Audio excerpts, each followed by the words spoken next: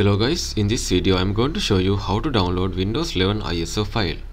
First you need to open the browser, you can use any browser for this one. Then you need to type Windows 11 download and hit enter. Then you need to go to first option, official Microsoft website. Then you need to scroll down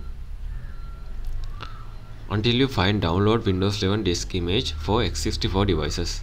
In here you, you can drop down there is a drop down you can choose the Windows 11 uh, multi-edition version. If you have ARM64 based device you can download it from here okay? So once you uh, select the drop down you can tap on download now. It will take small time to validate your request.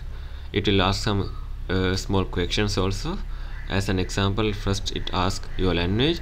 You can choose any language for this one I am choosing English and tap on confirm.